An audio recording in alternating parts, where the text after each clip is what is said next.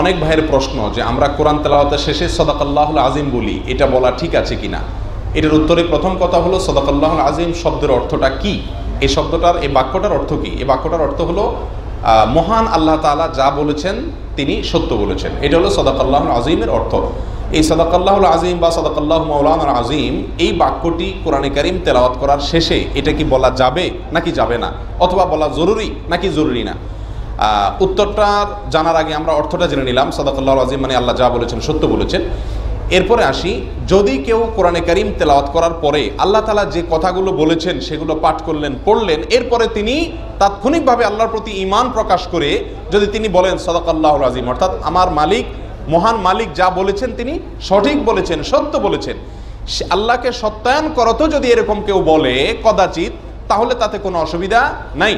কিন্তু যদি কেউ এটাকে কোরআন তেলাওয়াতের আদব মনে করে, সুন্নাত মনে করে, কোরআন তেলাওয়াতের অংশ মনে করে, কোরআন তেলাওয়াতের জন্য জরুরি মনে করে, তাহলে সেটা কিন্তু বেদাত হয়ে যাবে। প্রিয় ভাইরা কোরআন করিম তেলাওয়াতের আগে আওয়াজবুল্লাহ শেতান রাজিম। এবং বিসমিল্লাহ রহমান রাহিম পাঠ করা। উভয়টি একটি কোরআন থেকে আরেকটি হাদিস থেকে প্রমাণিত। আল্লাহ সুমতাল্লাহ বলেছেন, ওয়াইদা করাত কোরআন ফাস্ত আইজবিল্লাহ মিনের শৈতানুর রাজিম। যখন তুমি কোরআন পাঠ করবে, আল্লাহর কাছে শয়তান থেকে আশ্রয় চেয়ে নিবে।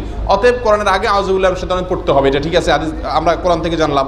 নবী সাল্লা সাল্লামের হাদিস থেকে বিসমুল্লাহ রহমান রহিম পড়া লাগবে, সেটা আমরা জানলাম। কিন্তু সদাকাল্লাহ আজিম পড়তে হবে শেষে, কোরআন তালাওয়াত শেষে। এরকম কোনো কথা কোরআন অথবা হাদিসে কোনোভাবেই উল্লেখ নাই। বিধায় এটাকে যদি কেউ কোরআন তালাওয়াতের অংশ, কোরআন তালাওয়াতের পরিপূরক কোরআন তালাওয়াতের আদব বা সুন্নত মনে করি করে, তাহলে সেটা বেদাত হবে। আশা করি বিষয়টা বুঝতে পেরেছেন।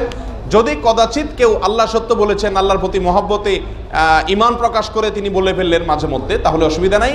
কিন্তু দুঃখজনক যে আমাদের সমাজে বেশিরভাগ মানুষ কোরআন তেলাওয়াতের অংশই মনে করে সদাকাল্লাহ আজিমকে এই জন্য দুই আয়াত, চার আয়াত, দুই পৃষ্ঠা যাই পড়ুক না কেন, শেষে সদাকাল্লাহ আজিম এটা পাঠ করাটাকে অনেকটা বাধ্যতামূলক মনে করে, অনেকটা ট্র্যাডিশন হয়ে গেছে। বিদায় বিষয়টি আমাদের জানা থাকা দরকার, আমাদের জানা বিষয়টিকে একটু কারেকশন করে নেওয়া দরকার। এটি পাঠ সুন্নাত নয়, বরং এটি পাঠ ঐচ্ছিক। যদি কেউ পড়তে চায়, জরুরি মনে না করে আল্লাহর প্রতি ইমান প্রকাশ করে মাঝে মধ্যে পড়তে পারে।